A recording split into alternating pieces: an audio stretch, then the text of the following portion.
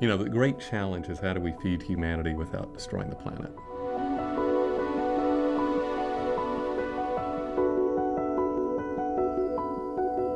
Our mission is to build a future in which people live in harmony with nature.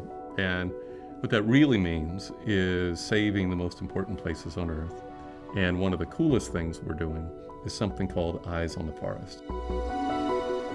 Google Earth Builder gives us the ability to take all this information that we have crammed in computers all over the world and to get it up on the cloud and to serve it up in a platform where people can ask for the information they want and use it to tell stories that are powerful.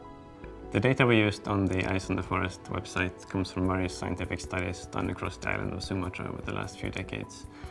Uh, some of it is based on satellite imagery analysis and some of it is studies in the field. The data was supplied by the WWF in shapefile format and we uploaded it to Google Earth Builder. Google Earth Builder can work with both rasters and vector data. We ended up using mostly vectors for this project because the functionality suited the kind of map that we wanted to build. If you look around the world, only 30% of Borneo and Sumatra are left. It is the most endangered forest on Earth, and you better not blink because it's disappearing right in front of our eyes. The challenge is getting that information out there into the hands of people where they can use it.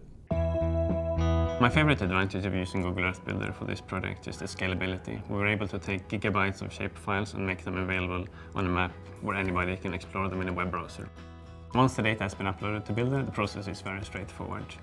You can create uh, different styles and colors for the layers and then group layers together to a map and after that you're pretty much ready to publish. And in the context of Sumatra, that means knowing where the populations of rhinos and tigers and elephants are, where the communities are, where the park boundaries are. And our conviction is that if people have that information, that the forest of Sumatra will not just be saved, but we can restore them. And my hope is that this project will play a small part in making sure that happens.